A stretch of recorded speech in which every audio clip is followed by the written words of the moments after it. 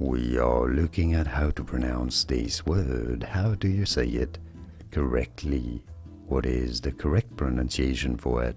Well, British and American pronunciations are similar here for once as freight. So don't worry about the GHT there, just the T really.